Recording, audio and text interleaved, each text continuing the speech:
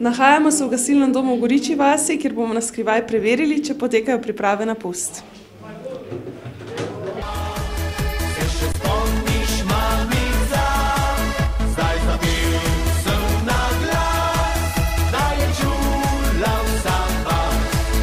Ribenčani in Ribenčanke lepo vabljeni v Ribenco 2. marca v eh, center Ribnice ob 14.19. Bo noro velik karneval.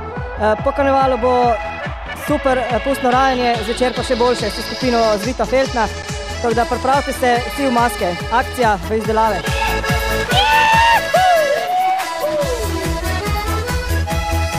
Priprave so v teku, super se imamo, eh, vse je v redu, tako da pridite na karneval, bomo prštimali v nulo stvari. Se je prijavilo že veliko mas?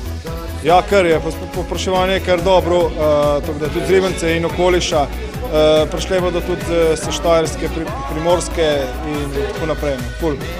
Jaz upam, da bo šlo tako, kot je treba.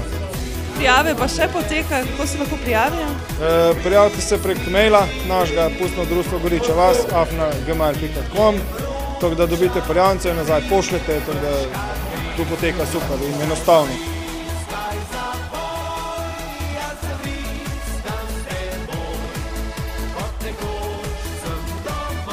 Pustne šeme, stare in mlade, majhne in velike, pripravite se. Pust bo tu že čez dva tedna, zato pohitite in se prijavite na veliki pustni karneval.